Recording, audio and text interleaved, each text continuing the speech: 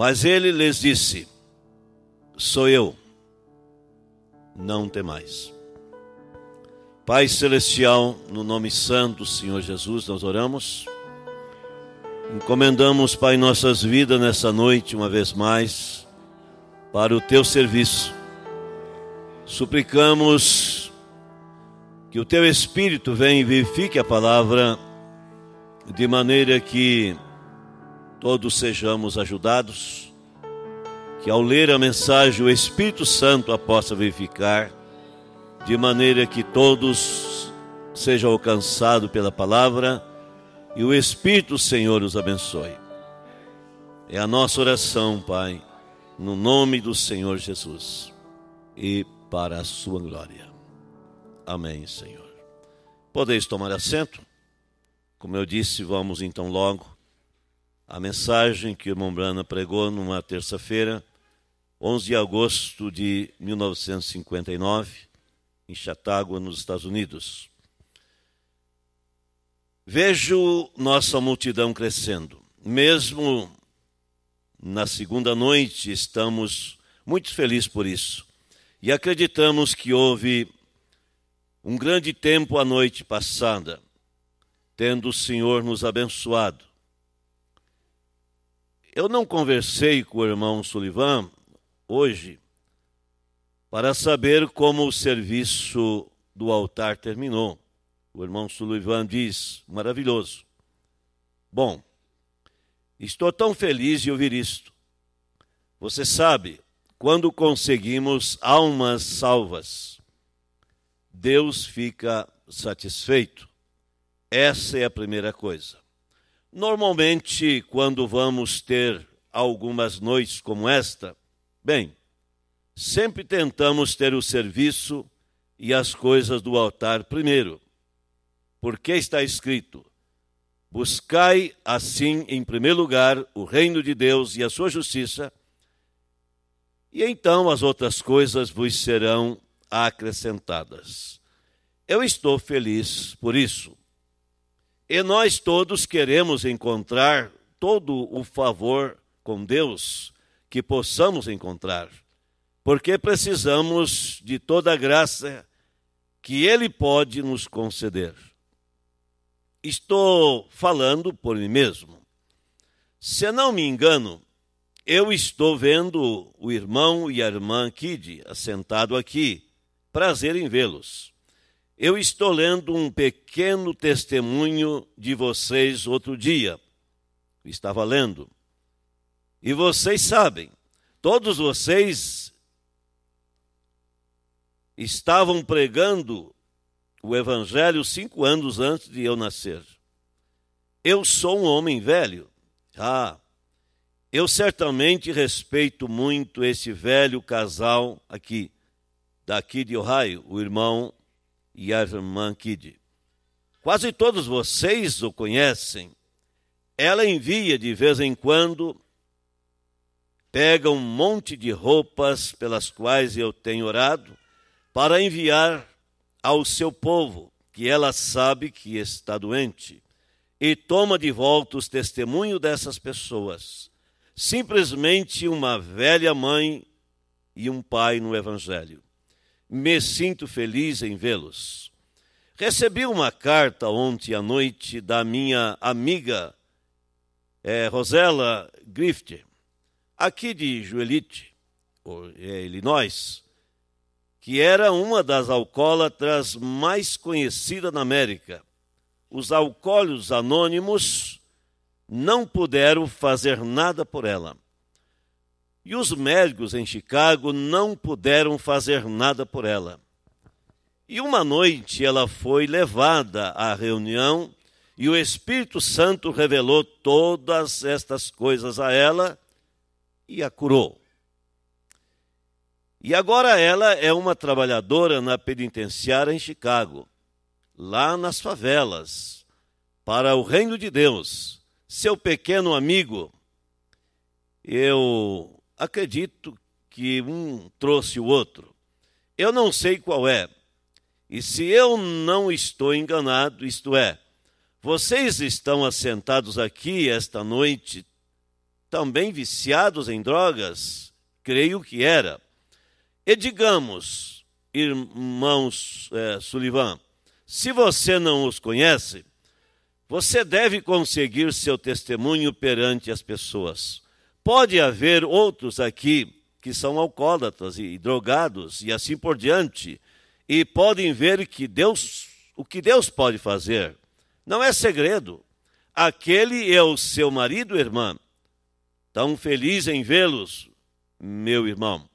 E assim Cristo certamente fez a diferença nesta vida. Certamente fez. É desde as tocas dos ratos da terra a é, pináculos mais alto que uma pessoa pode ser conduzida pelo batismo do Espírito Santo. Não é segredo o que Deus pode fazer. Você deve, por todos os meios, irmão Sullivan, obter o, o seu testemunho. Tenho certeza de que todos vocês gostariam de ouvir isto, não é? Como da, da droga passou a ser o que ela é agora, uma santa de Deus. Ela e seu marido. Não só isso, eu estava falando com Rosela, é uma trabalhadora nas favelas de Chicago. Eles são evangelistas nos campos, pregando o evangelho.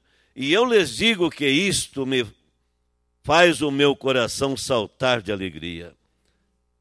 Aguardem até eu conseguir apertar suas mãos do outro lado. É quando vamos ter um tempo maravilhoso. Não teremos que ir para casa, porque estaremos em casa, e o sol nunca irá se pôr naquela cidade. Não, Senhor. Sempre será luz. Estamos lutando por esse tempo, e, como eu disse outra noite, desde que fui salvo, sempre tenho me sentido como se estivesse em um pesadelo em algum lugar. Há apenas algo além. Se eu pudesse simplesmente acordar, nós um dia destes acordaremos para a realidade de Deus e estaremos em Sua presença e salvo por Sua graça moldados à sua imagem. Oh, que tempo será! Estou feliz por estar aqui hoje à noite. Novamente, estar em comunhão com estes ministros e com cada um de vocês, meus irmãos, e com o irmão Sullivan. Ele é um quintaquiano, mas obteve perdão por isso. E veio e se tornou ministro. O irmão Brana é, e a congregação se rim. Agora acontece que eu sou de Kentucky também. E então eu vou mostrar que há muitos deles aqui. Quantos são de Kentucky? Levante as suas mãos. Há pessoas de Indiana no grupo. Minha mãe administrava uma casa de pensão, ou melhor, ela administrava. E um dia eu fui lá e todos os 23 homens que ela tinha eram de Kentucky. E eu fui até a minha igreja e disse: Todos que são de Kentucky, levante-se. E toda a congregação se levantou. Aleluia. Bem, Kentucky tem algo que eles têm oferecido ao Senhor. Muitos santos vieram de Kentucky. Nos dias antigos, nos dias pioneiros, quando eles vieram em carroções com cavalos e atravessaram as colinas, e eles produziram grandes pregadores, grandes santos de Deus. Será bem representado na glória quando chegarmos lá. Agora, confio que nós, como geração vindoura, seus descendentes, que não nos envergonhemos dos nossos antepassados ou do evangelho que eles pregaram. E vamos nos posicionar pela fé que uma vez foi entregue aos santos. Deixando essas coisas para trás, vamos prosseguir para o alvo da soberana vocação em Cristo. Esse é o desejo do meu coração e é encontrar essa soberana vocação. Agora, ontem à noite, eu falei com vocês um pouco, e hoje à noite é um serviço de cura. Nós não reivindicamos, se acaso houver alguém que não entende isso, nós não curamos ninguém, nós apenas oramos pelos doentes. Eu vi dezenas de milhares de pessoas curadas, mas nunca curei uma. Tenho tido algumas respostas diretas à oração por orar pelos doentes, mas nunca curei ninguém. E não acredito que seja no poder do homem. É uma obra consumada que Cristo fez no Calvário. A cura não está dentro do homem, nem mesmo nos médicos, hospitais, remédios. Não há remédios, hospitais ou medicamento que possa curar. O curador é Deus. Os médicos ajudarão. Um médico pode ajudar, o melhor, ajustar um osso, diagnosticar um caos e administrar remédios para matar os germes. Mas Deus faz a cura.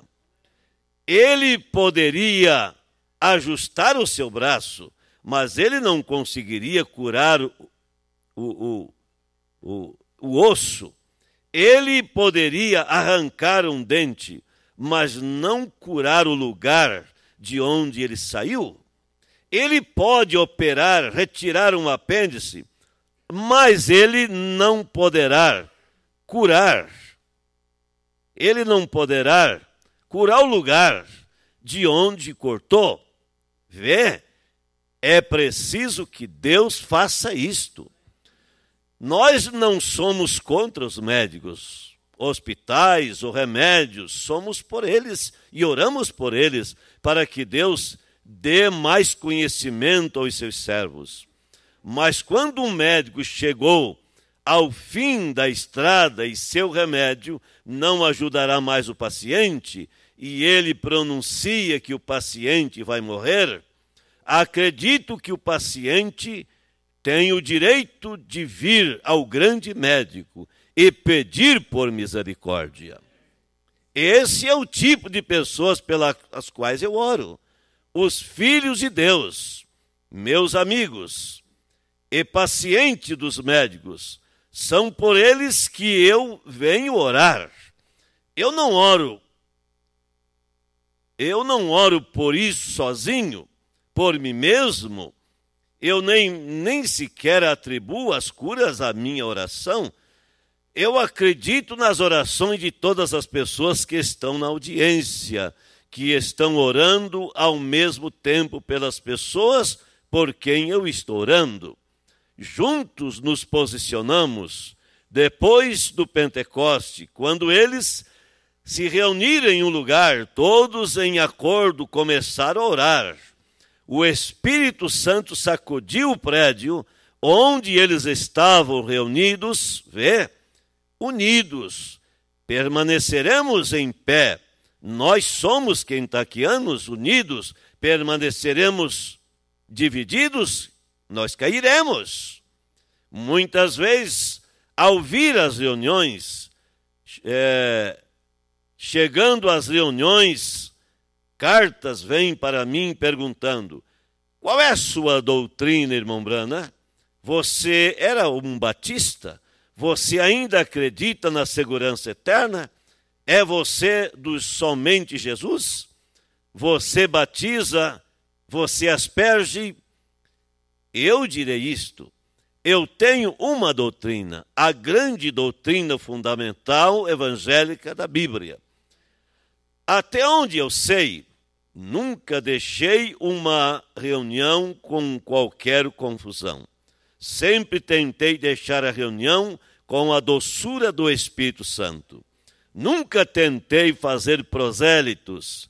Eu nunca tento tomar os discípulos de alguém o que eu tento fazer é incluir o pecador a qualquer igreja que ele deseja ir, desde que ele nasça novamente do Espírito de Deus. Ele é meu irmão, ela é minha irmã. E as doutrinas, eu tenho as minhas próprias ideias, mas eu as guardo para mim. Então, quando eu venho aqui ou em qualquer outro lugar, se eu tomar partido de um lado ou de outro, eu estaria jogando toda a influência que o Senhor me deu para uma de, determinada denominação. Portanto, eu não tomo partido com nenhuma delas. Eu permaneço ao lado de todas elas.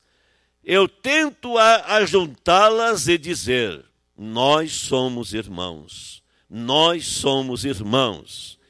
Essa é a razão pela qual eu não tomo partido ou eu entro em questões.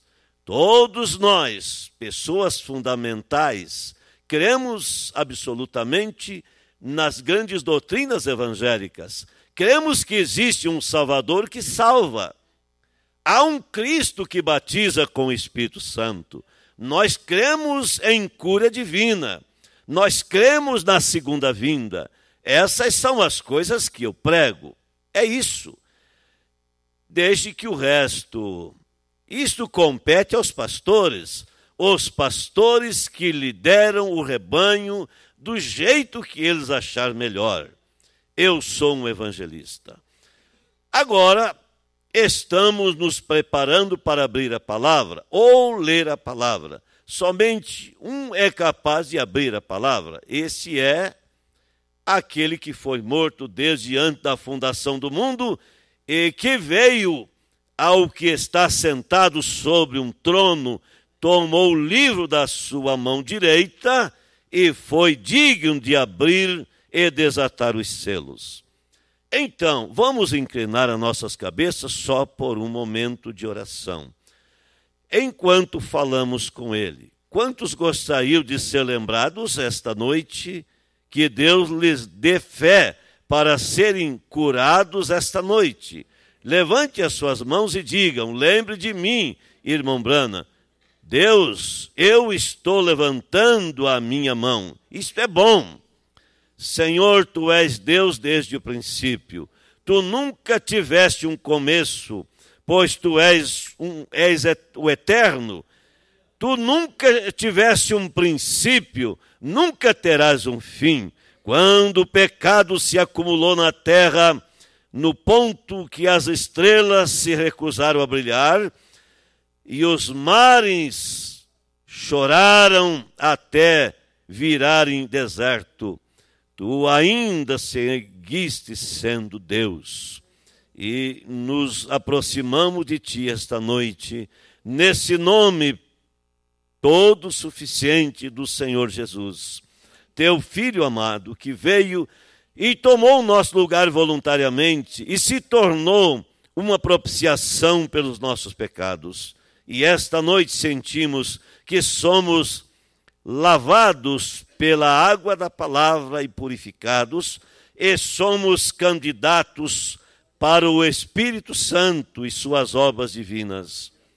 Nós viemos essa noite com os corações abertos para recebê-lo, sabendo que estamos vivendo nos últimos dias da história do mundo, sabendo que a qualquer momento Jesus pode vir.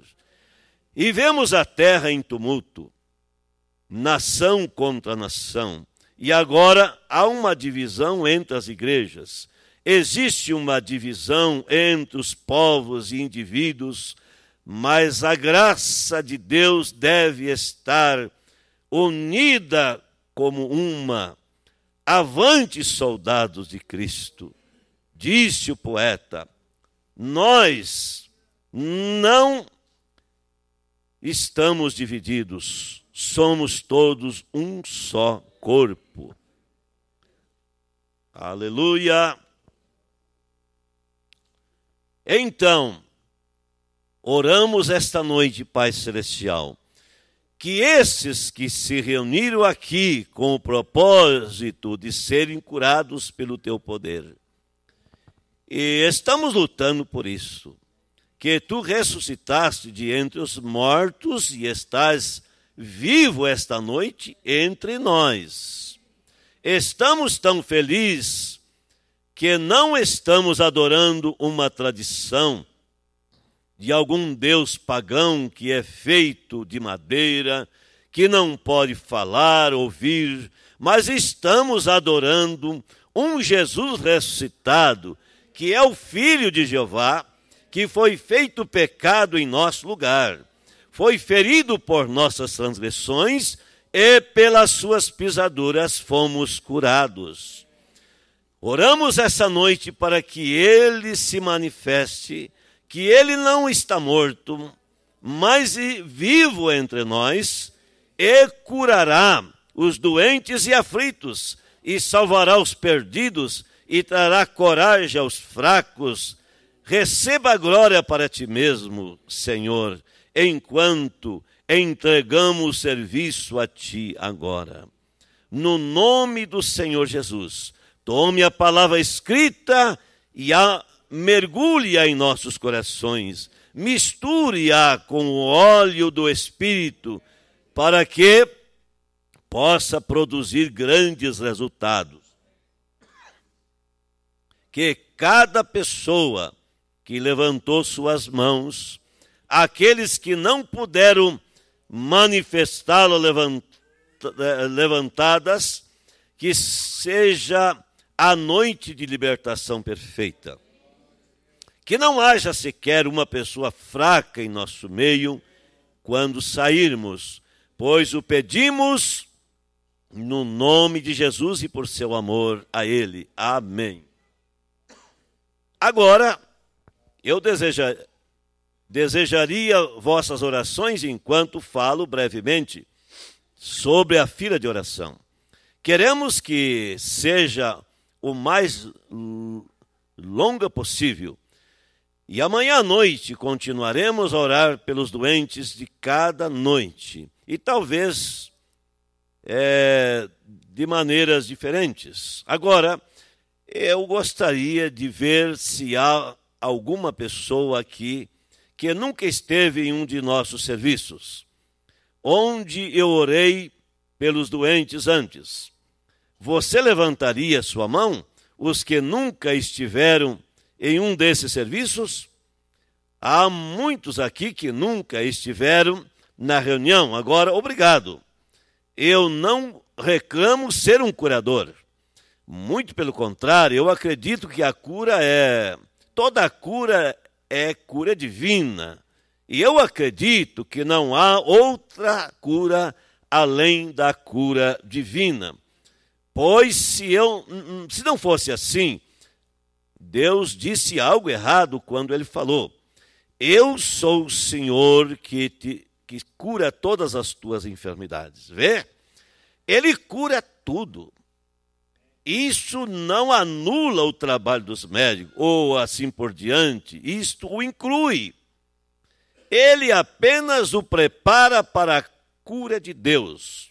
Ele apenas o limpa, ajeita o osso e prepara para a cura. Mas Deus tem que criar células.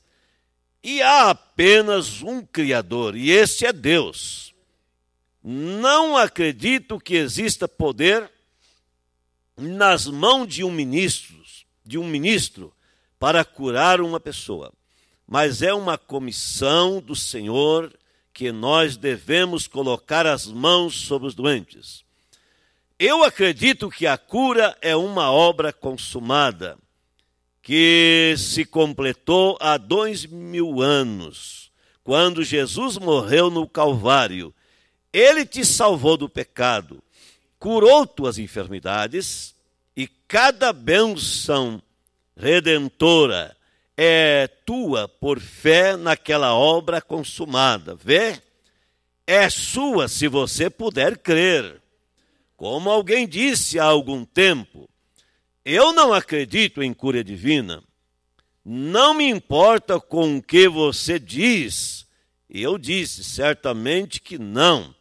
Ela não foi dada aos incrédulos, foi a mim e foi dada aos crentes. Aquele que crê, há um ponto de interrogação. Se você é um crente, a cura é para você. Se você não é um crente, não é para você. E cada pessoa aqui que está doente não precisa vir até a plataforma. Eles não precisam fazer nada além de confessar seus pecados a Deus. O pecado é incredulidade. Nós todos sabemos isso, porque você fuma, bebe, joga, comete adultério. Isso não é pecado.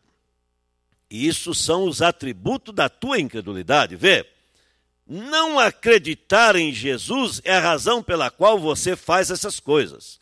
Se você as faz, mas se você crer nele, você não faz essas coisas, porque você é um crente. Então há apenas um pecado inicial, e esse é incredulidade. Se você crê em Deus, então você pode simplesmente aceitá-lo em qualquer lugar que você estiver. Deus está em todas as partes. Eu escolhi para essa noite apenas um pequeno texto, e eu confio que vocês captarão o que o Espírito Santo está tentando dizer nele. Encontra-se em João capítulo 6, verso 20. Mas ele lhes disse: Sou eu, não temais deve ter sido aquele grande e forte pescador chamado Pedro, que algumas horas antes tinha empurrado o barco desde a margem para o mar da Galileia.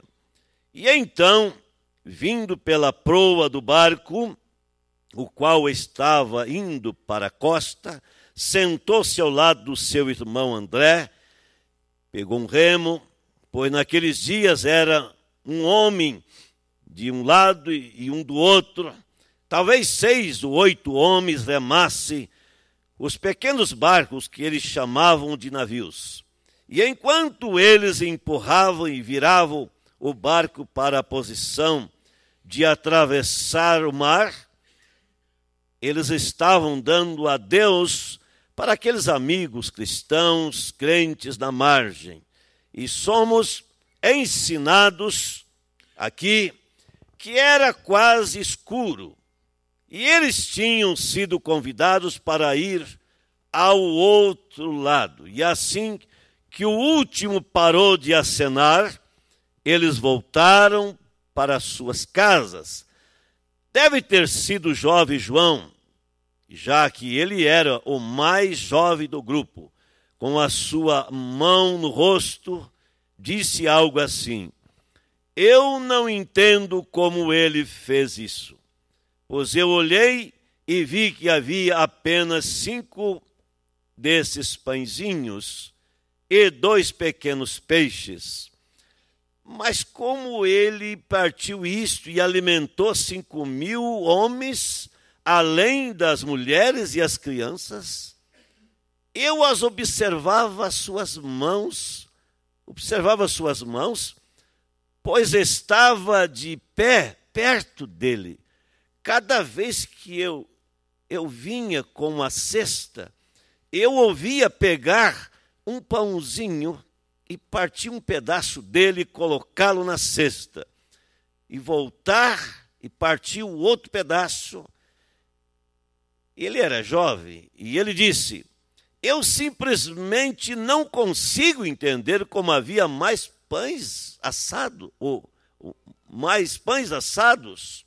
Ó, oh, se ele tivesse feito um forno e tivesse assado e tivesse o trigo e assim por diante, eu poderia ter entendido.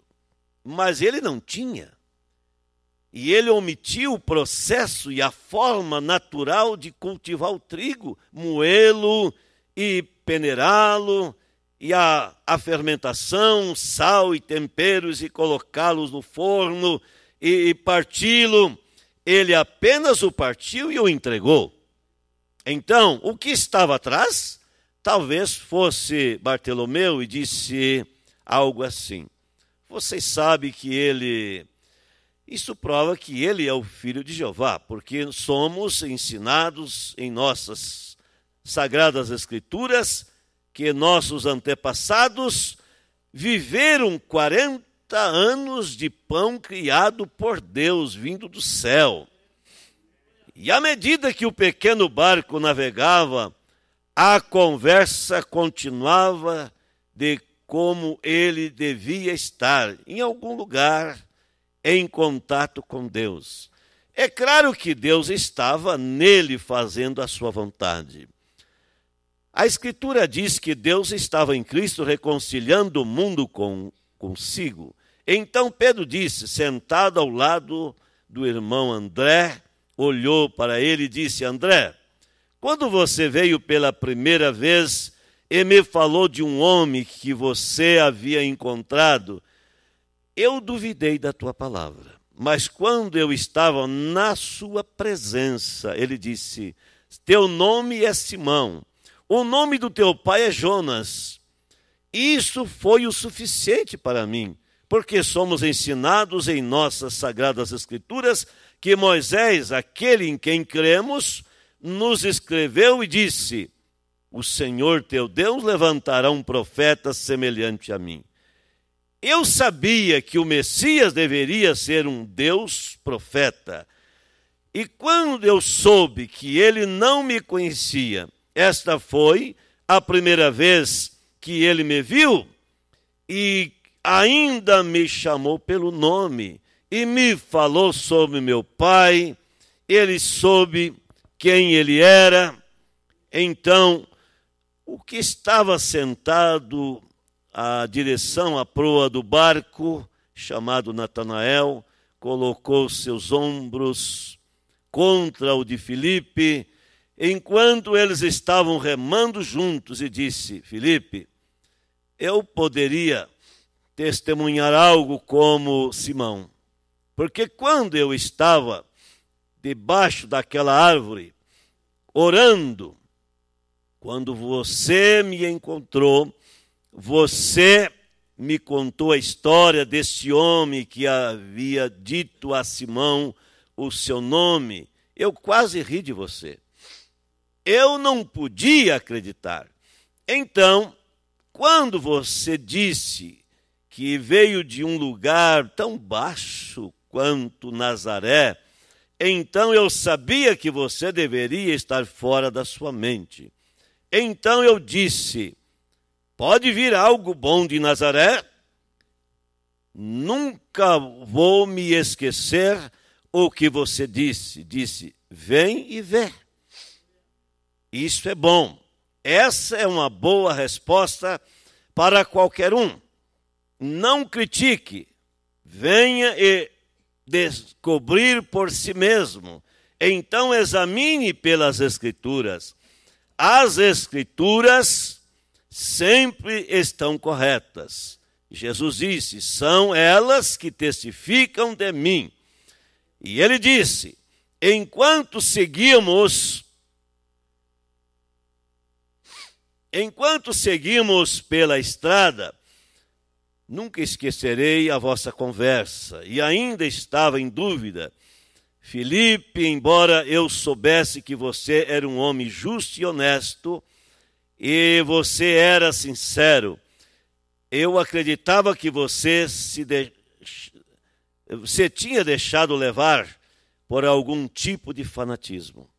Mas quando entrei em sua presença e ouvi falar, ele falava diferente de qualquer homem que eu já tinha ouvido falar. Porque ele falava como se tivesse autoridade. E ele sabia o que ele estava falando. E ele disse: Enquanto eu me aproximava, quando ele virou seus olhos e olhou para mim, disse: Eis aqui um israelita em quem não há dolo. Quase me derrubou. E eu disse: Rabi, de onde me conheces? E ele disse: Antes que Filipe te chamasse, quando você estava debaixo da árvore, eu te vi. E disse: Isto resolveu tudo para mim, de uma vez por todas. Eu sabia que esse era o Messias. E esse era o Deus profeta que Moisés disse que se levantaria. Não me importa com o que os outros pensam, isto ficou estabelecido para mim. Eu acreditei porque as Escrituras ensinam. E Filipe, é por isso que eu caí sobre meu rosto e disse: Rabi, tu és o filho de Deus, tu és o rei de Israel. Porque eu sabia que as Escrituras diziam que este seria o sinal que mostraria que aquele do qual Moisés falara, que esse era aquele do qual Moisés é, é, falara. Então, André deve ter parado de remar por um momento e disse: Irmãos, não ardia os nossos corações dentro de nós quando o vimos? Não mais do que um homem cansado em seu caminho? e ele se assentou no poço. Ele estava tão cansado que não podia entrar em Samaria conosco naquele dia, quando fomos buscar comida para ele. E como conversávamos no caminho sobre o quanto o amávamos, e antes que eles nos entregassem a comida, aqui vinha uma mulher na rua gritando: Venham, Veja um homem que me contou as coisas que eu tenho feito. Não é este o próprio Messias? Não é ele, porque ele me disse quando eu estava lá para pegar um balde de água. Eu simplesmente fui ao poço, como sempre eu faço, e eu ouvi alguém pedir-me de beber. Olhei e vi um judeu, meia idade, e ele me disse: Mulher, dá-me de beber. E eu disse: Não é costume para vocês, judeus, pedir tal coisa a uma samaritana? E ele disse: Se você soubesse quem está falando, o com quem está falando, você me pediria de beber, e eu lhe daria água que você nunca precisaria vir aqui para pegar nós começamos a falar sobre as diferentes denominações e os lugares para adorar. E ele me disse que Deus era um espírito e que os que o adoram o deve adorar em espírito e em verdade. Então, nunca me esquecerei. Ela poderia ter dito isso. Quando ele virou seus olhos penetrantes para mim e disse: Mulher, vai buscar o teu marido e vem aqui. E eu disse a ela, eu, e, e eu, e eu disse a ele, eu disse a ele, eu não tenho nenhum marido. Vocês, homens, sabem que, como eu tenho vivido. E ele disse: Não, você não tem marido porque você teve cinco maridos e aquele com quem você está vivendo agora não é teu marido. Claro. Ela diria algo assim: fiquei surpresa. Não temos tal coisa em nossas igrejas hoje. Eu me virei rapidamente para olhar para ele e eu disse: Senhor, percebo que tu és um profeta. Nós sabemos que o Messias será um profeta Pois quando ele vier, ele nos dirá estas coisas. E estas são as palavras que ele disse: Eu sou o que falo contigo. Agora, cavalheiros da cidade, vocês, escribas e estudiosos, decidam por vocês mesmos. Não disse Moisés que o Senhor Deus, nos últimos dias, levantaria um profeta como ele? Este não é ele? Não é esse o sinal do próprio Messias? Este é ele. Ó, oh, eles devem ter soltado seus remos por alguns instantes, regozijando em saber que foi um último sinal no último que foi um sinal no último dia. Eles tiveram companheirismo com ele naquele dia. Ó, oh, é sempre um grande dia quando você tem companheirismo com Jesus. Há sempre alguma coisa que fica em seu coração que você nunca pode ser o mesmo. Você nunca esquecerá as horas de companheirismo. Devia estar quase completamente escuro quando escutaram que um, um saco de dinheiro é, tilintou bem na polpa do barco e, e o sujeito mal-humorado se levantou e disse: Apenas um minuto, senhores. Claro, sabemos quem é aquele eh, companheiro. Alguém sempre é, é, alguém sempre para acabar com o companheirismo. Judas, ele disse: Estou bem familiarizado com muitos rabinos bons. Conheço muitos bons sacerdotes em nossa região, e não há nenhum deles, nenhum seminário, que pode apontar que ele tenha entrado por suas portas, mesmo como não desejado. Não temos registro, e vocês também estavam presentes quando ouviram o rabino dizer que este é Beuzebu.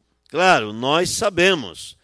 Temos que aceitar a sua reivindicação. Ele alegava que o seu pai era Deus.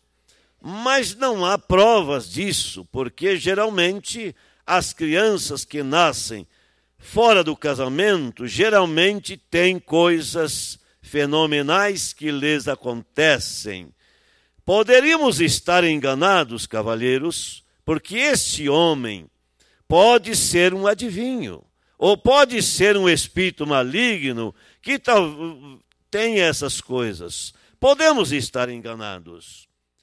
Nessa hora, o vento começa a soprar, as servo de Satanás tomou a palavra. E sempre há problemas quando ele toma a palavra. As ondas vêm com raiva, forte, mais forte o vento soprava. Sem dúvida, o próprio Satanás vislumbrando com seus olhos de lagarto, dizendo: Eu vou deixá-los rígidos de medo e depois os afogarei. E os tenho os tenho longe dele agora. E os ventos tornaram-se tão contrários ao ponto que o barco começou a se cobrir de água, com água até a metade dele. E os remos estavam se quebrando, e, e as grandes cristas das ondas, elas se levantaram e varriam o pequenino barquinho de um lado para o outro. Todas as esperanças tinham se ido, e todas as esperanças se foram, depois de serem pressionados de, uma onda para a outra. Talvez hajam pessoas aqui esta noite na mesma condição. Talvez você tenha desejado encontrar Deus e você tenha sido varrido de uma igreja para outra, de uma denominação para outra, levado sua carta de uma igreja para outra, da metodista para a batista, da presbiteriana para a luterana, para a pentecostal, para a nazarena, apenas ondas após ondas. Ou talvez você tenha sido levado de um consultório médico para o outro as ondas enfurecidas de doenças te levaram de um consultório médico e ele te examina e diz: não há nada que eu possa fazer. E a outra onda irá enviá-lo para uma clínica. é, apenas para ouvir o médico dizer: seu caos está avançado, não há nada que eu possa fazer por você. Mas quando todas as esperanças se foram, aconteceu deles perceberem algo. Eles viram alguém vindo, andando sobre as águas. É assim que ele age. No último momento, na hora mais escura, Jesus vem. Ele vem caminhando sobre as águas. Agora, o trágico desta cena é que para as pessoas sem esperança, lhes foi enviada a esperança, mas ficaram com medo quando ela chegou. Assim como hoje, a única esperança que eles tinham era a misericórdia de Cristo. Seu barco estava afundando, seus remos tinham desaparecidos e eles estavam à mercê do diabo no mar. E uma tempestade os contorcia, e a única esperança que eles podiam ter estava vindo a eles. E eles ficaram com medo dela. Eles temiam que fosse um fantasma, algo do tipo, como diríamos por aí, uma assombração, vindo andando sobre as águas. E eles gritaram com medo, mas uma voz veio de lá, aquela voz autossuficiente para acalmá-los, e disse: Não temais, sou eu, tende bom ânimo. Essa é a mesma que vem a nós nessa noite. Aquela voz quando estamos em desespero, quando estamos no final da nossa jornada, de igreja em igreja, trazendo nossa carta de igreja para metodista, para batista, para presbiteriana, para pentecostal e assim por diante. Ouçam, todas as igrejas estão bem, mas esta ainda não é a resposta.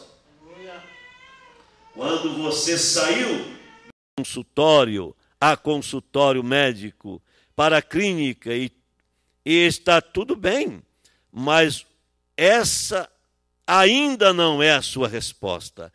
Eles a, de, a, a desanimaram. A resposta está no edifício essa noite. O Espírito de Deus, o Espírito Santo, não tenham medo dele. Ele não faz fanáticos. Ele toma os fanáticos e faz santos. Não tenha medo dele. É a única esperança que vocês têm. Você poderia ouvi-los gritar, dizer: Isso é fanatismo lá em Chatágua. Não se aproxime não acredite nisso. Você examina as Escrituras, pois são elas que testificam de Cristo.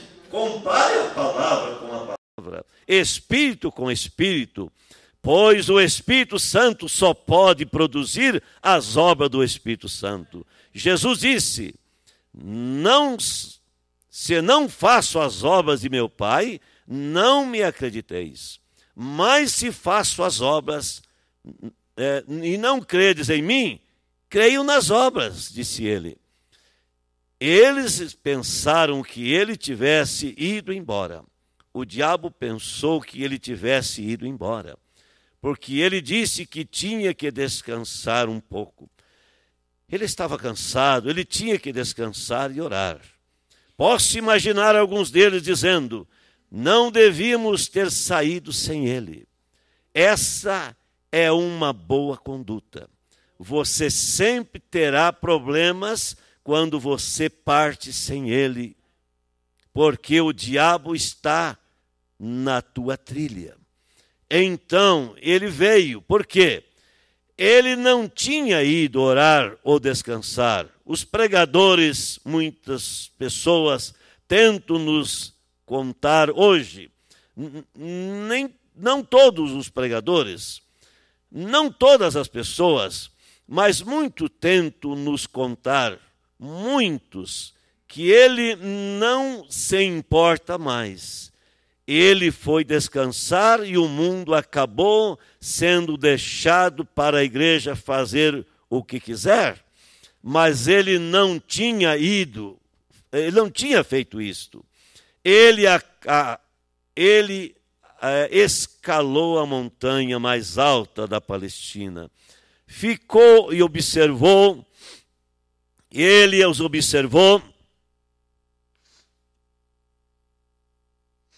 ficou os observando o tempo todo. Ele não está morto, ele está vivo. Quanto mais alto você sobe, mais você pode ver. Ele foi todo o caminho até o trono do Pai, sentou-se ao lado direito e ele observa. Quando o pequeno barco, ele disse, estava no meio do mar e as ondas eram contrárias. Ele estava sentado lá em cima observando. Ele não está sentado em uma montanha esta noite, mas ele está sentado em glória. Seu olho está no pardal. Eu sei que ele nos observa. E ele sabe quão contrárias são as ondas para você. Ele sabe o que o médico disse e ele se importa com você. Ele te ama. Ele virá na última hora. Mas não venha com medo dele quando ele vier. Aceite-o. Quando o susto deles passou, ele entrou no barco e houve uma repentina paz. Ó, oh, que a paz repentina é para um coração perturbado que foi de um lugar ao outro para tentar encontrar algo. E quando eles pararam por alguns minutos e deixaram o Espírito Santo entrar em seu coração, que a paz repentina trouxe, toda a tribulação desta igreja e daquela igreja e esta congregação, tudo está resolvido e você sabe que seu redentor vive, e porque ele vive em você. Aleluia. Quando o homem vai ao consultório do médico com uma mulher, com um bebezinho, e o médico faz tudo o que está dentro do seu poder. Não tenha medo do Espírito Santo e sua promessa porque ele está observando vocês. E ele disse nas Escrituras aqui que ele não nos deixará nem nos abandonará. Eis que eu estou sempre convosco até o fim do mundo. A Escritura diz que Jesus Cristo é o mesmo de ontem e hoje para sempre. O mesmo Jesus que subiu na montanha para observar aquele barco cheio de pessoas, subiu as muralhas da glória para observar a esta congregação esta noite e suas ações ante o seu espírito e sua palavra. Antes de partir, ele disse: Ainda um pouco que o mundo não me verá mais, mas vós, os crentes, me vereis. Pois estarei convosco e até mesmo em vós, até o fim dos tempos. Cristo, o mesmo ontem e hoje eternamente, o mesmo Jesus que se importa, o mesmo Jesus que cuida de você, o mesmo Cristo que realiza os mesmos milagres, que traz os mesmos resultados, não disse em João 14, 12: aquele que crê em mim também fará as obras que eu faço? Cristo, mesmo ontem, hoje e eternamente. Ele não está morto, mas ele está vivo. E se ele está em nosso meio esta noite, ele trará os mesmos resultados que trouxe quando esteve aqui na terra. Para que possamos deixar este edifício essa noite, dizendo o mesmo que eles disseram, aqueles que vinham de Emaús, naquela primeira ressurreição, ele fez algo exatamente como ele fez antes de ser crucificado. Eles souberam que era Jesus. E esta noite, se ele está vivo, ele não está morto, mas ele está entre nós. e ele fará as mesmas coisas que ele fez antes da sua crucificação, pois ele é o mesmo de ontem, hoje e eternamente. Não tenham medo, não tenham medo de algo maligno, é de acordo com as Escrituras. Não tenham medo, não é assustador. Não tenham medo, não é adivinhação não tenho medo, não é fanatismo. Sou eu, diz o Espírito Santo. É o Espírito de Deus testemunhando que Jesus está vivo em sua igreja. Vocês creem isto? Então, vamos orar, visto que confiamos nele. Ó Senhor, que trouxe novamente Jesus de entre os mortos e o apresentou a cada geração através das eras. E esta noite estamos na sombra da sua vinda pela segunda vez em glória. E enquanto uma sombra começa a aproximar-se, todo positivo que faz a sombra, o objetivo torna-se mais evidente o tempo todo. Não podemos olhar atrás para o ministério de nosso grande amigo e irmão Martinho Lutero. E não podemos olhar para o irmão John Wesley, ou Moody, ou Sankin, ou Finney, ou Calvino, ou Knox. Eles refletiram o, o, o seu evangelho em seus dias. Esse mesmo evangelho é refletido esta noite de uma maneira mais poderosa porque o Senhor está chegando em breve.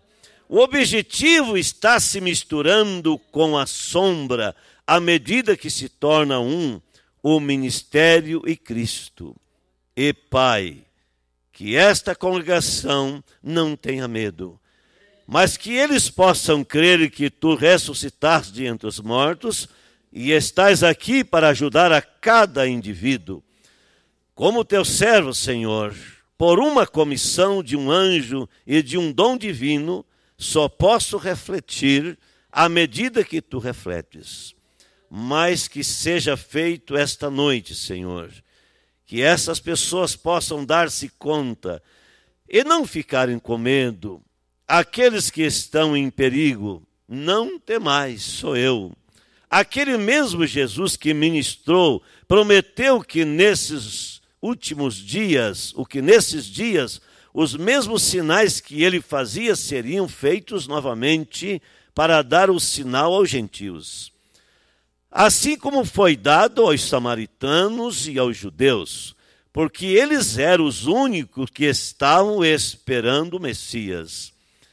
E tu te manifestaste dessa maneira, e agora tu és um Deus infinito tu não fazes acepção de pessoas, tudo que tu fazes, ou fazes perfeito sempre, e tu fizesses isto perfeito.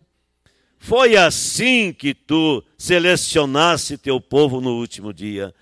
Aqueles que estavam procurando por ti, judeus e samaritanos. E agora, Senhor, escolha escolha teu povo esta noite de entre os gentios Deixa o teu Espírito Santo se mover, executar e operar as obras de Cristo, pois pedimos isto em nome de Jesus. Amém.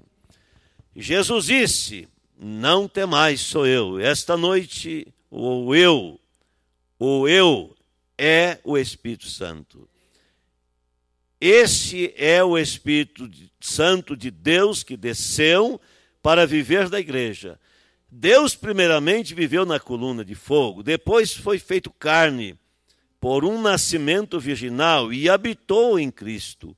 E então, na partida de Cristo, ele santificou uma igreja que nasceu sexualmente para que ele possa santificar esse povo e viver neles. Sua presença, o Espírito Santo, para continuar a obra. Esta noite o Espírito Santo está aqui terminando, ajuntando, terminando a obra, selando o livro, pois o último nome entrará nele algum dia, e ele nunca adicionará um extra.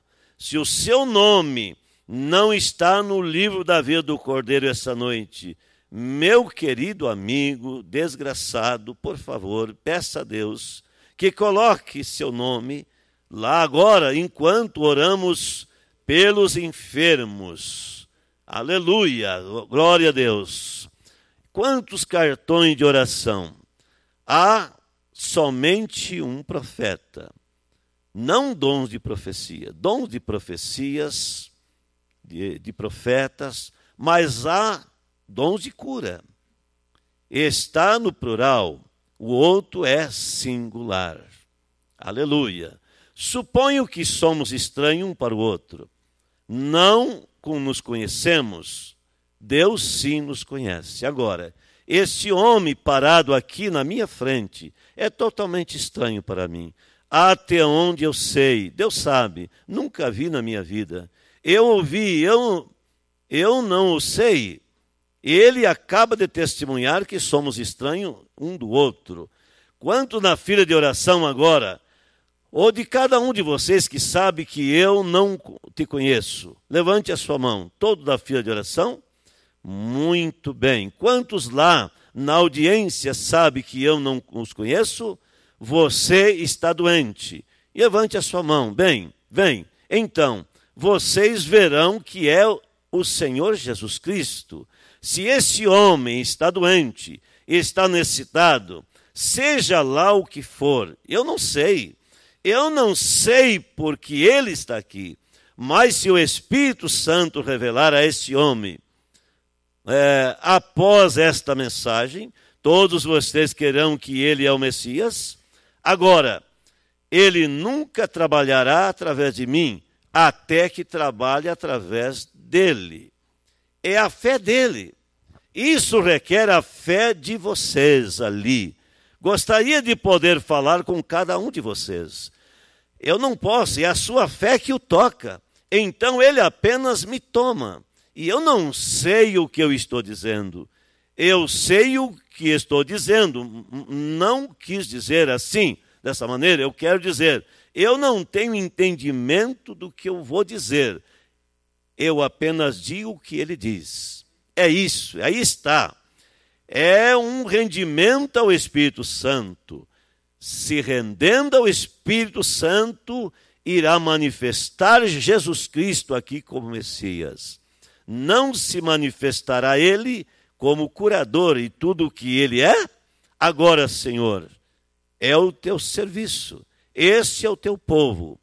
E eu sou teu servo. Agora, permita essas pessoas verem esses que estão doentes, necessitados, que eles saibam que tu és o Filho de Deus e que não estás morto, mas estás vivo esta noite para manifestar os mesmos sinais e maravilhas que tu prometestes. Os livros em breve serão fechados, as portas serão fechadas e o julgamento estará à mão. Nós vemos isto pendurado nos hangares hoje, Senhor sabemos que está perto. Então, que ali, na audiência esta noite, Pai, talvez uma pessoa que não está salva, que a presença do Senhor Jesus traga essa pessoa a uma convicção de que eles receberão o Espírito Santo essa noite. Pedimos isso para a glória de Deus agora, Senhor. Permita que o Espírito Santo nos dê estas coisas que pedimos para que as pessoas possam saber que tu és Deus e que vives para sempre, no nome de Jesus Cristo. Aleluia! Louvado seja o nome do Senhor. Só mais um pouquinho e nós já vamos encerrar então. Agora, olhem para cá atentamente, fiquem em oração. Mas agora, o que quer que seja, você faça o que ele, o que ele diz. Eu não importo em que condição você está, quão aleijado você está. Se isto falar com você, agora observe. Ele pode revelar algo. Agora observe isto, está apenas revelando. Mas então, se você ouvir isto, assim diz o Senhor, você pule, faça o que ele te disser para fazer. Você poderá ir até é tão rápido quanto puder. Quantos foram curados dessa maneira nessa reunião? Vamos ver suas mãos levantadas para que possam testemunhar. Vejam, muitos, muitos, vejam. Aleluia, glória a Deus. Aqui eu estou saltando no parágrafo 66, depois vocês vão ler. É, então, depois vocês leem o resto aqui para nós realmente é, vamos encerrar aqui. Né? Ele diz aqui, orando, ele disse: ajude as pessoas essa noite, Senhor, a entender que cada pessoa possa ser curada, que o grande Espírito Santo comece a banhar cada pessoa doente em sua bondade e sua misericórdia, através do nome de Jesus. Aleluia. Vocês não podem vê-lo, mas vocês veem isso operando entre as pessoas. Está operando com vocês do mesmo modo como ele está operando comigo. Ele não pode fazer nada com você até que você creia. Há somente uma coisa maior, há uma coisa maior do que esta necessidade em sua família. É que você precisa ser uma cristã. Ele fala com a mulher. Você não é uma cristã. Essa mulher veio pedir para sua família, mas ele disse: Você não é uma cristã, você é uma pecadora. Essa é uma boa fé para uma pecadora trazer seu bebê, porque é o amor de uma mãe que o chama a fazê-lo. Você aceita Jesus Cristo como teu Salvador? Tem ele se tornado teu Salvador?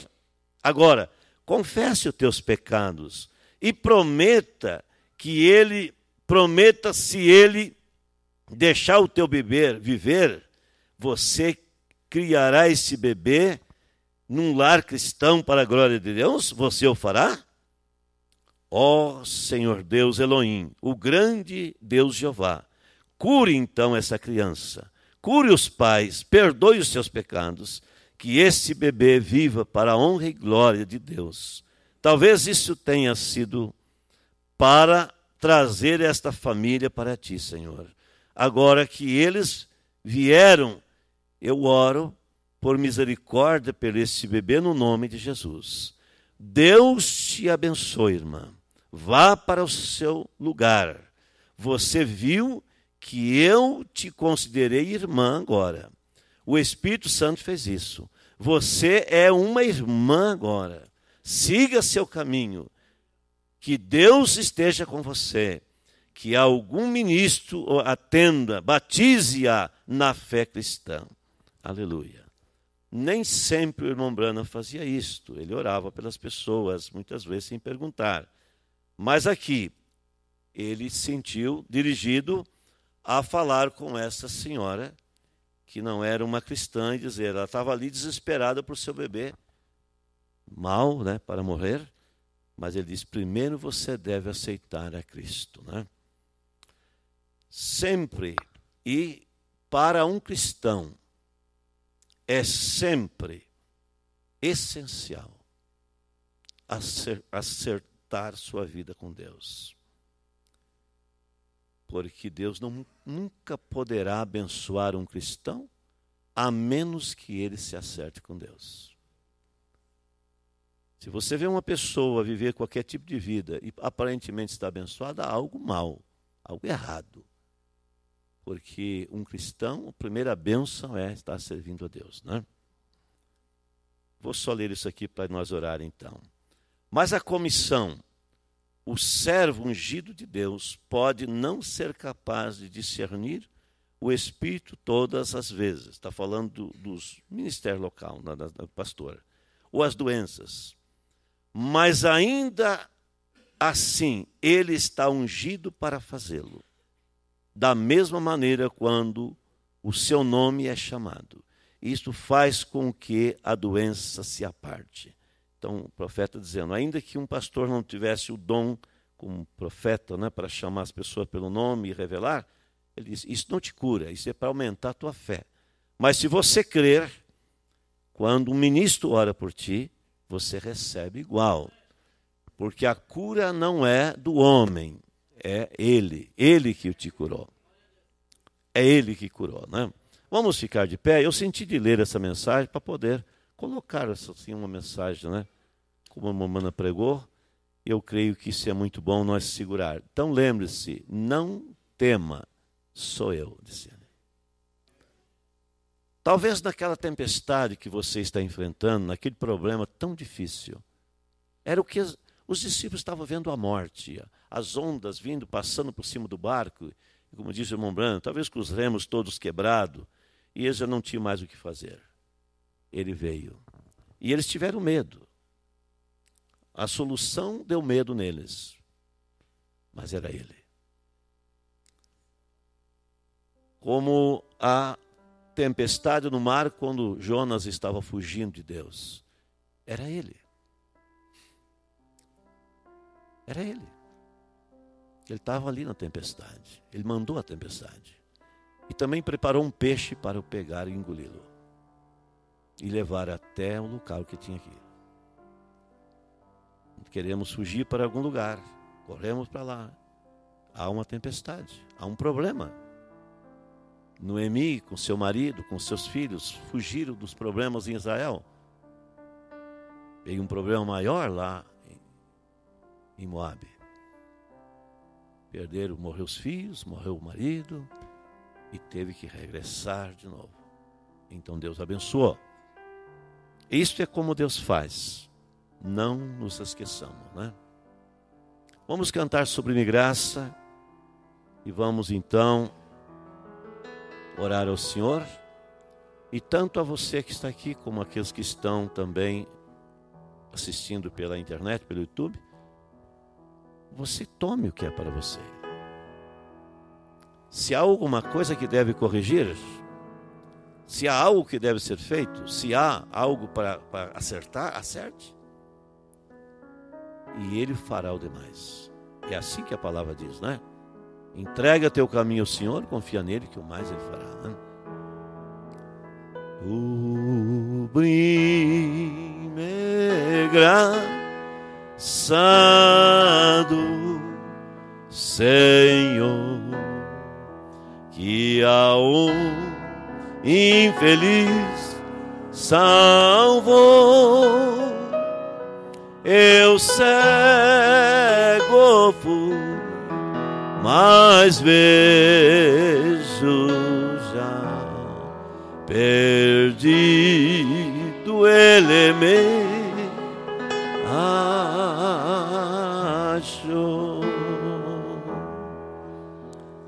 Oremos ao Senhor.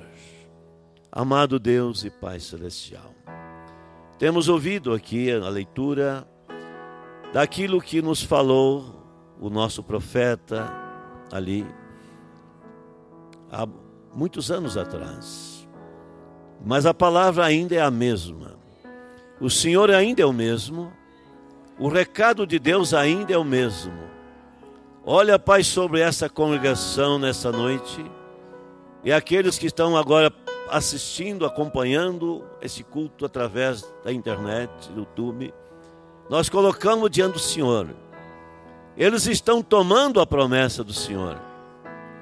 Eles estão crendo agora, estão se aproximando do Senhor, estão fazendo propósito diante do Senhor, entregar suas vidas ao Senhor, entregar seus caminhos, consertar algo que esteja errado e caminhar com o Senhor. Saber que todas as coisas contribuem juntamente para o bem daqueles que amam o Senhor daqueles que são chamados por seu decreto. Em nome de Jesus, Pai, nós nos colocamos diante de Ti, nós pedimos a Tua graça, Pai, e os colocamos nas Tuas mãos, para a honra e glória do nome de Jesus. Eles estão entregues nas Tuas mãos. Abençoa cada um que está agora contigo, em comunhão contigo, colocando algo diante do Senhor que o Senhor lhe conceda agora, sob a unção do teu espírito, porque a palavra profética, é a palavra, o alimento para a noiva nesse dia. Em nome de Jesus. E para a sua glória, Pai, a nossa oração, no santo nome do Senhor Jesus. Em nome do Senhor Jesus.